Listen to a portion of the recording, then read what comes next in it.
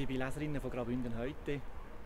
Wir beschäftigen uns seit Monaten mit dem Thema Digitalisierung in dunklen Räumen, in engen Sitzungszimmer und reden in diesem Tourismuskreis, wie dass man dann Digitalisierung auch umsetzen kann. Sei es Apps, sei es SEO, sei es neue Formen von der Kommunikation. Alles das wird in Zukunft für uns Touristiker wichtiger als alles andere, sagt man uns.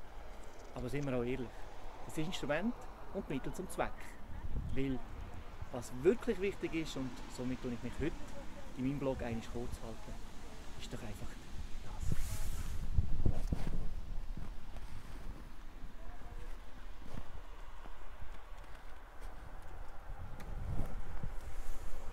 Und mit diesen wunderbaren Bildern wünsche ich euch einen schönen Nachmittag hier aus Rosalenze.